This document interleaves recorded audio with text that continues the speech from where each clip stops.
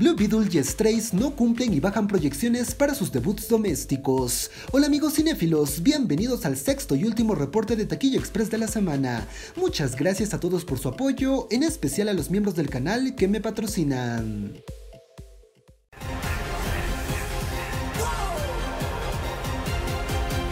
Desafortunadamente, Blue Beetle no volará muy alto durante su debut doméstico. La película terminó su primer día total con 10 millones, lo cual denota un frontloading considerable, y está 1.7 millones atrás de lo que consiguió Shazam 2 en el mismo tiempo.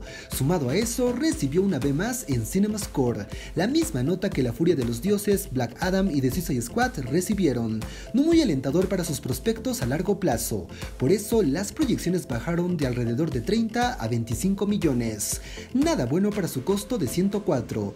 30 por lo menos la habría salvado de la vergüenza, pero bueno, esa idea de que los latinos la apoyarían a último minuto se está desvaneciendo. Si hoy sábado el frontloading se incrementa, Barbie podría volver a liderar. Eso sí sería súper desalentador para el escarabajo, aunque Warner reiría por un lado pero lloraría por el otro. Ya veremos qué pasa mañana en el reporte semanal. No hay datos internacionales disponibles, pero se sabe que en Europa no está rindiendo muy queda ver los números de Latinoamérica.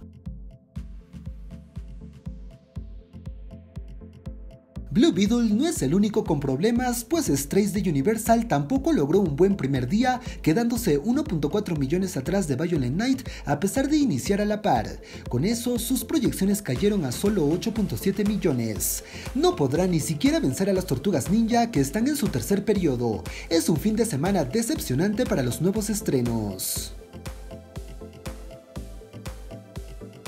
Y eso fue todo por este video amigos cinéfilos, espero que les haya gustado e informado, todas las opiniones son válidas en los comentarios, recuerden ser respetuosos con otros, déjenme sus likes si les gustó, compártanlo con sus amigos, pueden seguirme en Instagram si lo desean, suscríbanse para más videos y nos vemos en otra oportunidad.